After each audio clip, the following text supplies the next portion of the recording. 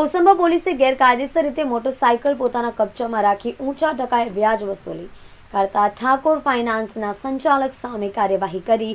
રૂપિયા પાંચ લાખની કિંમતની બાર મોટરસાયકલ કબજે કરી હતી.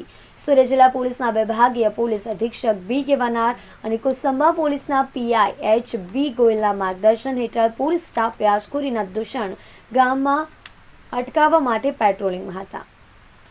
તે વખતે હેડ કોન્સ્ટેબલ હિમાંશુ, રશ્મિકાંત અને અરવિંદભાઈ ને બાતમી મળી કે ગોસંબાના જૈન રોડ ખાતે રહેતા અમિત રમેશ ઠાકોર નામનો વ્યક્તિ ઠાકોર ફાઇનાન્સ નામે ગેરકાયદેસર રીતે રૂપિયા આપવાનો ધંધો કરી જરૂરતમંદ લોકોની મોટરસાયકલ ગેરકાયદેસર રીતે પોતાના કબજામાં રાખી તેઓને આપેલા રૂપિયાનું ઊંચું વ્યાજ વસૂલી હેરાન પરેશાન કરે છે. શ્રી બાતમીને આધારે કોસંબા પોલીસે ઠાકોર ફાઇનાન્સના સંચાલક અમિત ઠાકોરને ઝડપી પાડી તેની પાસેથી રૂપિયા પાંચ લાખની કિંમતની બાર મોટરસાયકલો કબજે કરી કાયદેસરની કાર્યવાહી હાથ ધરી હતી.